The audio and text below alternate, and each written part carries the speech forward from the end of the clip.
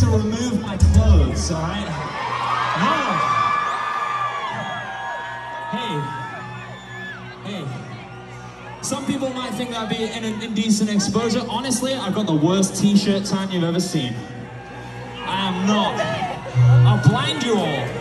The sun's behind the clouds and it's still gonna be like, yo, this guy's pale. Take it off!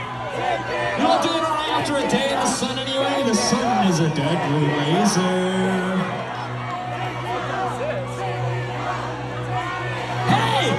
Take my fucking shirt off in my own sweet time. I'm in control of my own shirt.